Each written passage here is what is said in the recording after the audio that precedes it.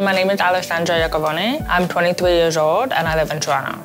I got diagnosed being hard of hearing from the age of two. There was like a fire alarm. I just didn't hear it. That concerned my parents. We went and did all my testings. Then they found out that I had an autoimmune issue, which was called the Stickler syndrome, and that led to my diagnosis of being hard of hearing. I found that I was a very confused kid, just trying to make my way through school. So I felt like I did a lot of fake it till I make it.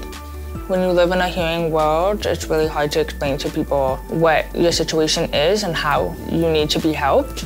So I think it wasn't until I got full agency over my learning and education in university, it was becoming a little easier because then I could find the tools for myself and have that agency over my own learning. For the four years journey of my university, having the Canadian Hearing Services Scholarship helped me not have to overwork myself to get textbooks, to get technology like my computer, and it allowed me to be able to put that 100% into school, not having to do a paying job by having that scholarship.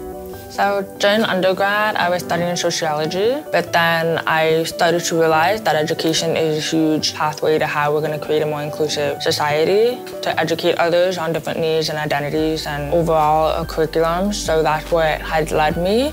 Being deaf and hard of hearing can really have a huge impact, yet can be a very beautiful thing that our world doesn't understand. And so to be able to bring that over for them to understand through research and through education is my absolute dream job.